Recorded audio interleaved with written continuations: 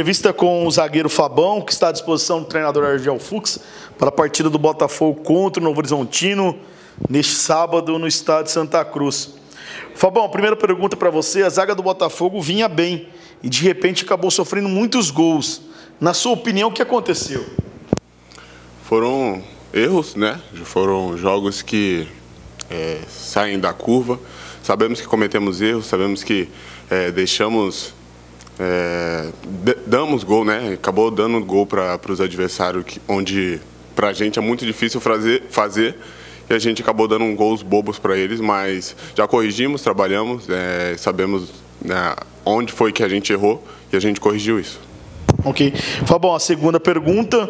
Você tinha saído do time por último, do time por ter tomado o terceiro cartão amarelo. E esperávamos que você voltasse ao time na última rodada mas isso não aconteceu. Ian Victor foi mantido entre os titulares. Você ficou frustrado por ter voltado no banco de reservas? E por que até hoje você acredita que o Argel não conseguiu manter a mesma dupla de zaga, jogando por mais tempo e com mais regularidade? Claro que eu não fiquei chateado, rancoroso. A gente, a gente é um grupo, né? A gente é um grupo, o Ian, o Guerra, o Ryan que saiu, todos nós trabalhamos iguais, né? Temos qualidade, cada um tem a sua sua característica e o Agel não conseguiu repetir porque há lesões, há cartões, né? No meu caso mesmo, eu acabei sofrendo lesão e depois eu voltei e o Mirassol acabei tendo uma entorse no primeiro tempo, acho que quase ninguém sabe, mas é, né, sofri alguns, alguns rompimentos de ligamento e eu estou aí trabalhando.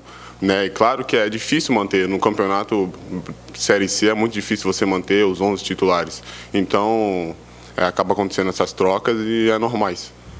Bom, e agora a equipe preparando uma semana de trabalho até o próximo jogo, né, no sábado contra o Novo Horizontino. O que esperar desse Botafogo contra o Novo Horizontino o que vocês podem mostrar para continuar na briga pela classificação? É, iremos dar o nosso máximo, como sempre. É, estamos trabalhando, convicto né, na, na, vitória. Né, iremos dar o nosso melhor, independente de, de como a gente esteja na classificação, a gente tem que ganhar sempre o próximo jogo, a gente sempre tem que dar o nosso melhor.